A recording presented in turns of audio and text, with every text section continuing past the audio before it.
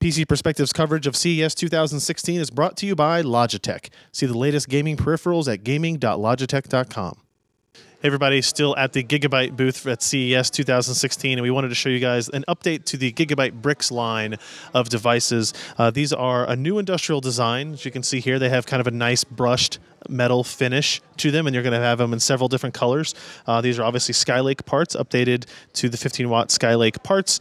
Um, they're going to have variants that are obviously smaller, uh, some that are a little bit taller to support two and a half inch drives. There are some other updates internally to this. They now support M.2 wireless connectivity as well as M.2 storage, so you have the capability for all that there.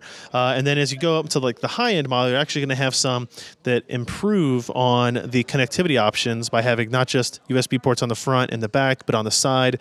And this USB 3.1 port will also be a Thunderbolt supported device once it finally gets approved.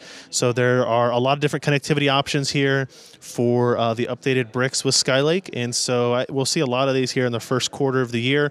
Pricing yet to be announced, but uh, if you are a fan of small PCs, mini PCs, there are going to be many for you to choose from.